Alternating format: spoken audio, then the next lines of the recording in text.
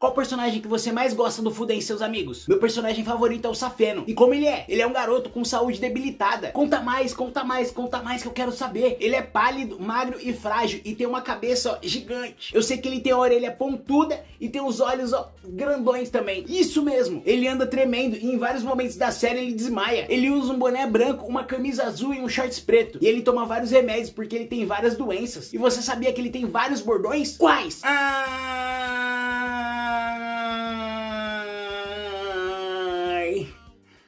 Minha pressão vai cair. Qual mais? Ai.